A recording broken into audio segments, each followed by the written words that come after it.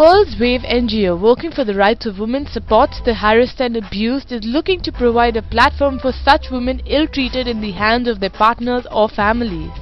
Bollywood stars Katrina Kaif, Saif Ali Khan and Harman Baweja came together in a press meet to show their support for the cause. Audio visuals of the Pearl NGO was also unveiled having snapshots of women against violence and messages from celebrities like Genelia D'Souza, Vidya Balan, Ajay Devgan, Karan Johar, Priyanka Chopra, Shahid Kapoor and Abhay Deol pledging their support for Pearl's Wave. Basically is what we're talking about, humanity. Wherever there's a man, wherever there's a woman, there is inequality in strength and therefore the violence is especially wrong because the man can generally beat up the woman because he's generally stronger. Of course, that might not be true in some cases. Generally speaking, uh, it's unfair.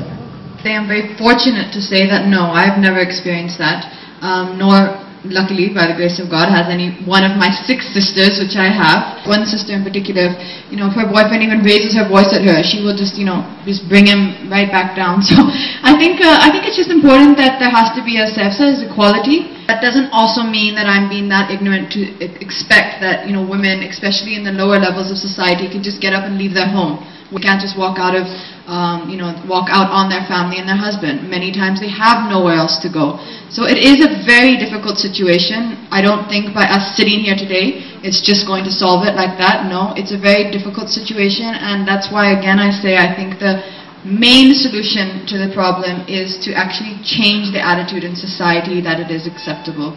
Helplines, there are a couple of uh, NGOs which they should call uh, friends and relatives.